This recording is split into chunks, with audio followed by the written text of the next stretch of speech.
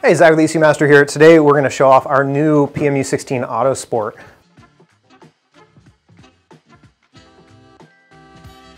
I love the PMU16. This is an evolution of it.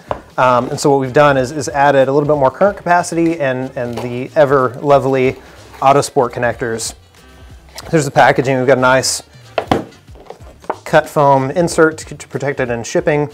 Here are the pinouts for the two connectors on the device. Um, it's really neat. I, I love the Autosport PMU because we, we had a custom connector made. So again, Autosport connector is made by Deutsch. And the high current output connector uh, is custom made for us um, for the style terminal we wanted and the, the quantity we wanted. Um, very, very clever packaging. So we do include the connectors and terminals. So, so consider this in the price. If you purchase these separately, it's, it's hundreds of dollars for the, the connector shells and the terminals. All gold, gold terminals.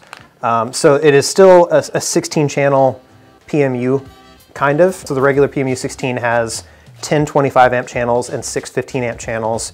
The PMU 16 Autosport has 14 25 amp and two 40 amp channels. The 40 amp channels get two terminals apiece for current capacity and you get six low side outputs, meaning you can trigger six relays.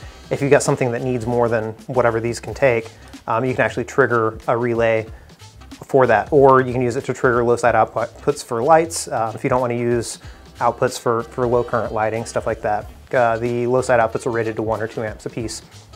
The battery input is a very clever Radlok connector. I love these, simple toolless connection.